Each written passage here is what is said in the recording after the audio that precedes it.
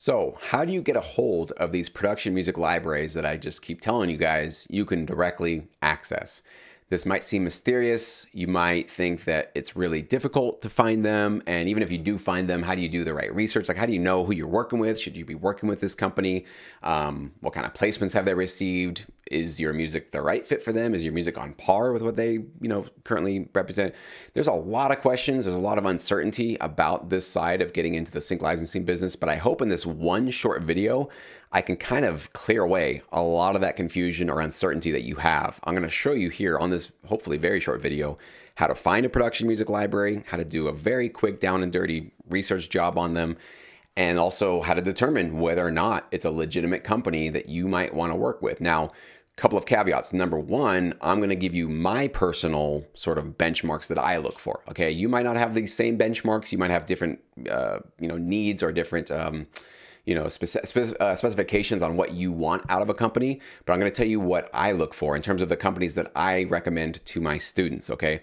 Secondly, I'm going to block out all of the contact information, email addresses, the URLs, even the company names for whatever I find here because I do not want to have, you know, hundreds or thousands of producers emailing whatever company I find here. I don't know which one I'm going to find, but I don't want them to be bombarded with tons and tons of people that are just oh, I heard of a production library from this one YouTube video. Let me just send them music. I don't want to cause product uh, headaches or problems for any company like that. Okay, so the point of this is not for you to submit to this library that I'm finding, but it's for you to see how I do this, how I walk through this process very quickly, and how accessible this information is for you for free through a Google search. Okay, so that's the whole point of this.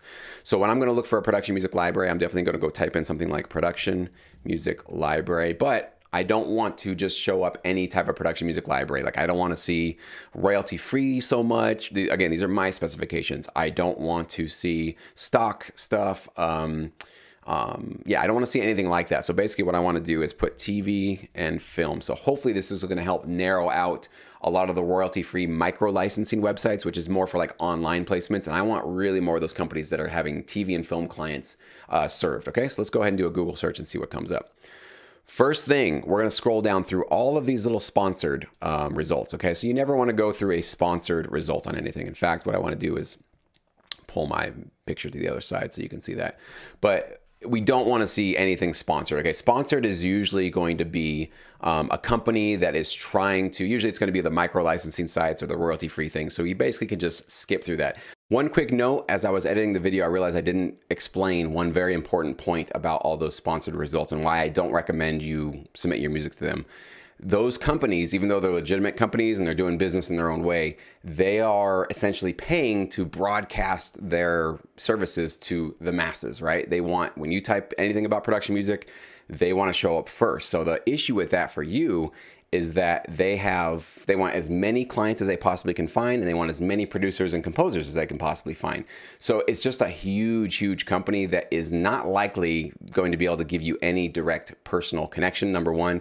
And number two you know, allowing you to create direct relationships is probably impossible as well. In fact, most of these companies that are advertising like that, they're going to have a sort of standardized sign up form because they have so many people, you know, signing up. I, I even heard of one of them that has literally like a, a ticket, like customer service response system because like they have that many producers and composers. They have to have a ticketing system, right?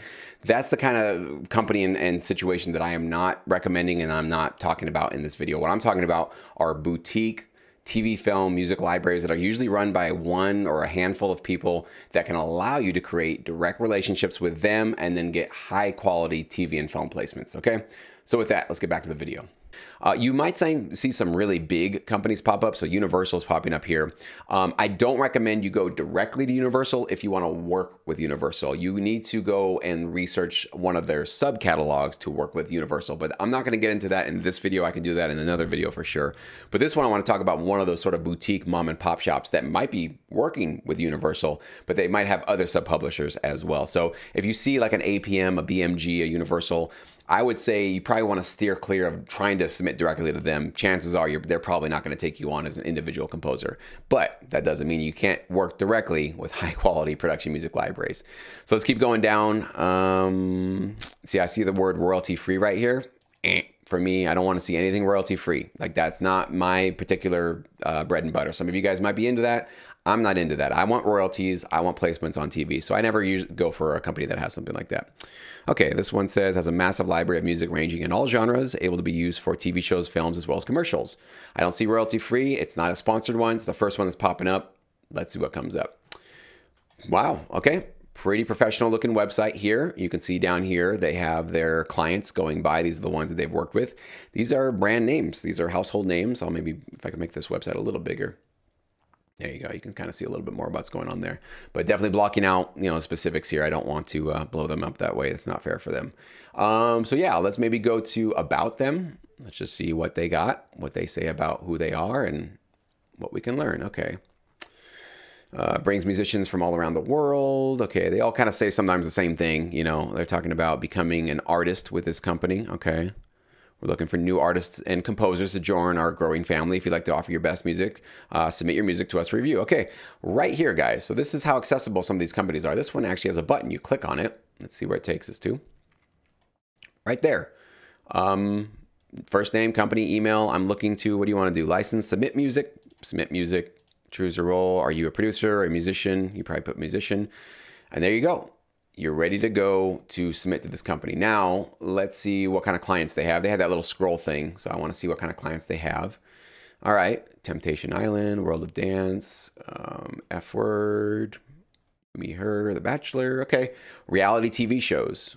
Those are the ones that I'm seeing in terms of the ones that they are showing off. So it sounds like a lot of reality TV shows, um, cooking shows, dance shows, um, elimination shows. That seems to be their bread and butter. So if I see something like this, I'm thinking immediately tension music, right? Because think about what kind of music gets placed in here. You don't see trailers here, you don't see sports, right? You don't see anything like that. So you got to, you know, kind of use your head here and also this is why you should be watching TV from time to time. What kind of music are you hearing on these types of reality TV shows? This is giving you an insight into what type of a library this is, who their clients are, who they primarily serve, and what kind of music is really going to do well with this particular company, okay?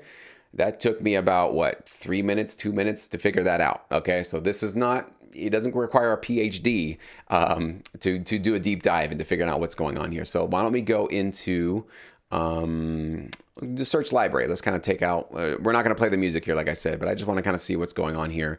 Most libraries will have something like this where you can literally by genre. You can see right here. You can go check it out. So let's say that you do well, maybe hip hop, something like that, and you want to get into like some tension sort of hip hop tracks, which which would do really well with those kind of reality TV shows. Well, you can go through here, you can check out, and maybe they have a mood as well. Um, they have aggressive, anxious. Anxious might be it. Um, dark, that could be it. Um, I wonder if they have something actually literally tension for the T's. Let's see. Uh, that's a lot of there's tense. Let's try tense. There you go. You got hip hop and tense. So what you can do right here is go through all of these tracks and listen to them and check out what they have and see the quality and listen to what they have going on in terms of is it higher quality than what you're doing? Is it lower quality than what you're doing? And you can A B compare after clicking play on any of these tracks what they have already accepted, right? This is what they've already accepted and what they feel will do well with their clients right there. All that research is 100% free. You can do all of this research 100% on your own. Um, and you can go by any other genre that you want to. Let's say it's not hip hop. You can come back to here. Uh, maybe I'll do a refresh on this whole page so we can get all of our search. Uh, start a new search. There we go. So I don't know. You want to do, let's say you're a rock producer. Okay. And same kind of thing though. You probably want to go into something a little bit more tense. Let's do uh, maybe anxious. Let's see what happens in anxious. Um, there you go.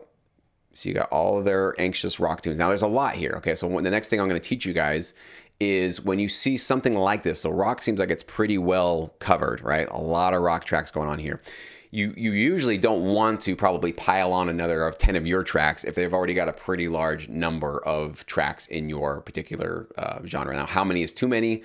Very subjective, of course, but I would say if you see something like this where right off the bat you see that rock is very well covered and hip hop was kind of undercovered, uh, underserved, but there still was some hip hop music there. There was definitely a, a good chunk of hip hop tracks there.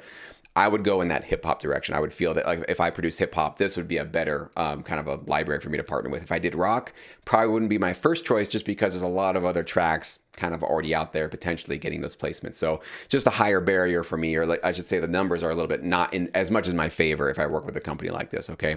So some of this stuff you do need to make sort of your best guess. It's a little bit of a subjective uh, judgment in terms of if you feel it's there. But what I what I will warn you guys against is don't go into a library and if let's say you see like nothing, and sometimes we can do this, like let's do a, a research here.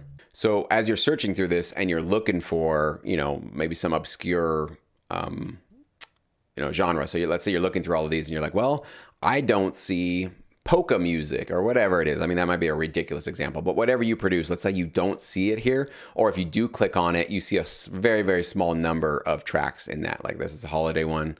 Eh, holiday, they're pretty well covered, but let's say you find something, and this can happen in a lot of these companies where you find a genre and they've got like three tracks, or maybe like even just 10 tracks that's not necessarily an indication that you should just throw your music at them because you're like, well, I will be having way higher chances of getting those placements because they've only got a couple of tracks in this particular style of music.